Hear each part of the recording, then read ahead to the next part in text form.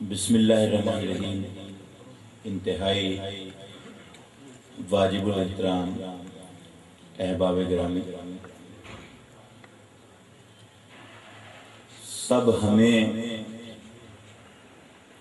با کمال کہتے ہیں۔ سب ہمیں با کمال کہتے ہیں۔ اس کو کہت الرجال کہتے ہیں۔ میں کیا اور میری حیثیت کیا؟ لیکن حقیقت یہ ہے کہ مجھ سے پہلے بہت بہتر اور بڑے بڑے لوگوں نے اظہار خیال کیا۔ وہاں بیٹھتے ہوئے میں سوچ رہا تھا کہ میں کیا جاؤں اور کیا کہوں۔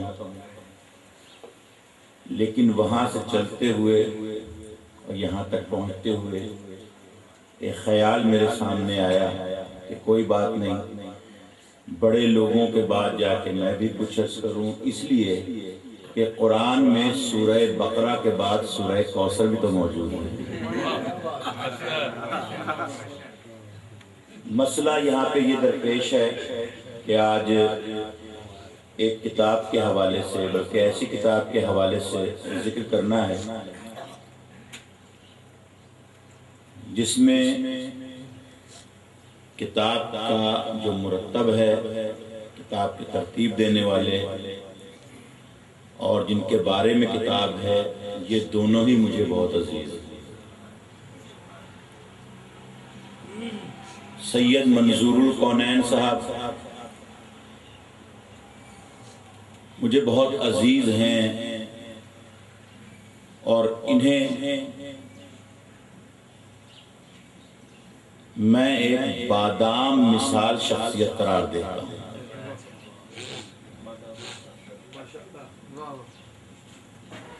جو لطف جاں پیدا کرنے کا سبب ہے۔ لیکن ارسلان احمد، ارسل صاحب بھی مجھے بہت عزیز، بلکہ عزیز تر ہیں کہ یہ مغز بادام ہیں۔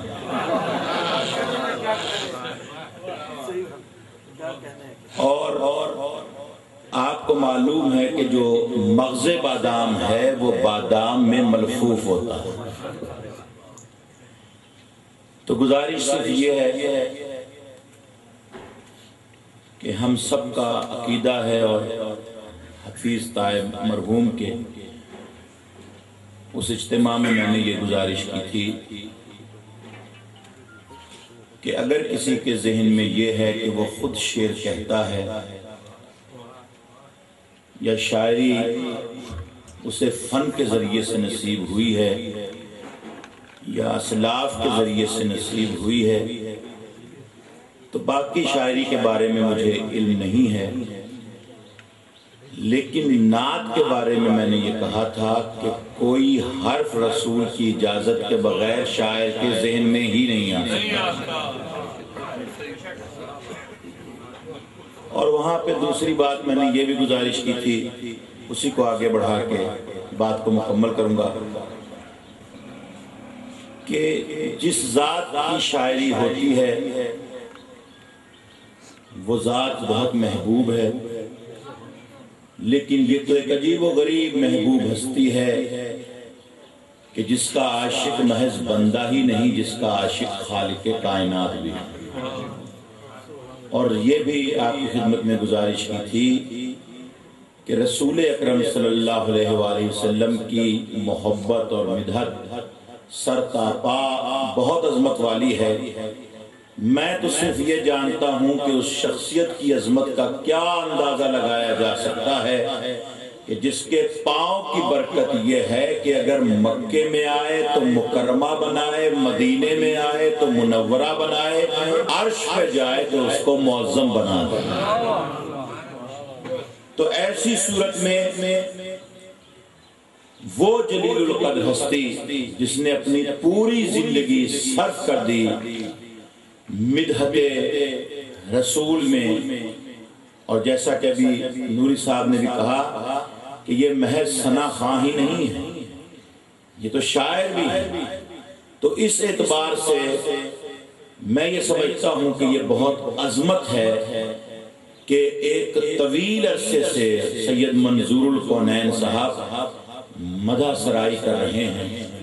اور یہ مدہ سرائی صرف لفظوں کے ساتھ نہیں ہے کہ آپ لفظ بول دیں اور کام ہو جائے، بلکہ یہ تو روح کی بالیدگی سے الفاظ آگے بڑھتے ہیں۔ ہمارا کام ہے ڈوبے رہے عشق پیمبر میں۔ ہمارا کام ہے ڈوبے رہے عشق پیمبر میں۔ محبت کو غذا تو روح کے اندر سے ملتی ہے۔ اپنی زبان نہ ہو، خدا کی زبان موجود ہو۔ وہ اپنے منہ میں خدا کی زبان رکھتے ہیں۔ تو میں ممنون احسان ہوں اس ذات گرامی کا کہ جس نے ساری زندگی مدحت رسول کی اور اور لفظ آپ دیکھیں کہ منظور القونین قرار پائے کیا عظمت اللہ نے دی کہ منظور القونین ہو گیا تو اب تو سمجھ لیجیے کہ ذکر رسول کا کیا فائدہ ہے؟ ذکر رسول کا اس سے بڑا فائدہ کیا ہو سکتا ہے کہ ذکر رسول کے ذریعے سے انسان منظور القونین ہو جاتا ہے لیکن عزیزو، ایک مسئلہ ضرور درپیش ہے اور مجھے معافی کے ساتھ یہ الفاظ کہنے ہیں کہ بہت سے لوگ گزرے جنہوں نے بہت اچھی نعتیں پڑھی لیکن اصل بات یہ ہے کہ آج ان کے کلام کو ہم تلاش بھی کرتے ہیں کیسٹیں ان کی نہیں ملتی۔ کیونکہ جو کچھ کہا غائب ہو جاتا ہے، زمانے کی تبدیلی کے ساتھ۔ بڑے بڑے مقرر آیت اللہ شاہ بخاری سے بڑا کون ہے۔ لیکن آج ہم سننا چاہتے ہیں، نہیں سن سکتے۔ بڑے بڑے ناک خانوں کے نام۔ میں یہ سمجھتا ہوں کہ یہ بھی خاص اعزاز اور اعجاز ہے۔ منظور القونین کی بارگاہ نبوی میں قبولیت کا کہ انہوں نے اس محبت و لگن کے ساتھ ان کے رسول کے کلام کلام کلام اپنے کلام کو اور لوگوں کے کلام کو اس محبت کے ساتھ پڑھا ہے کہ ایک محبت پیدا ہوئی ارسلان احمد ارسل کے دل میں کہ انہوں نے ان کے کام اور ان کے کلام اور ان کی باتوں کو محفوظ کر لیا۔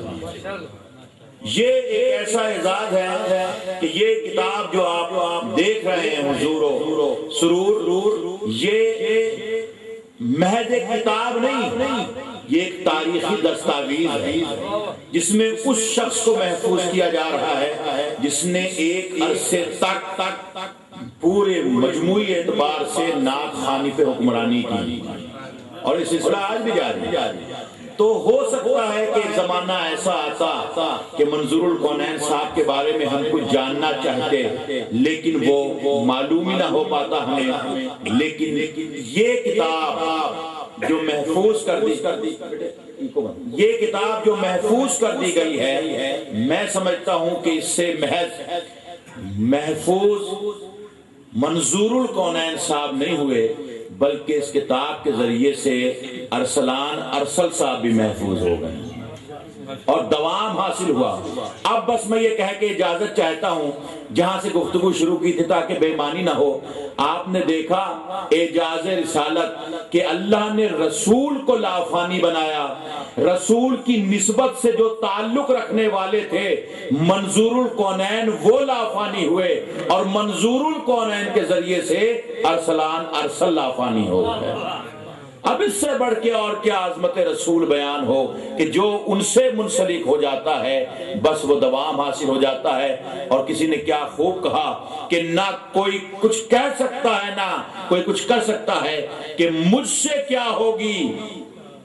محمد کی سنا خانی مگر۔ مجھ سے کیا ہوگی محمد کی سنا خانی مگر؟ اس حوالے سے مجھے اپنی بقا درکار ہے۔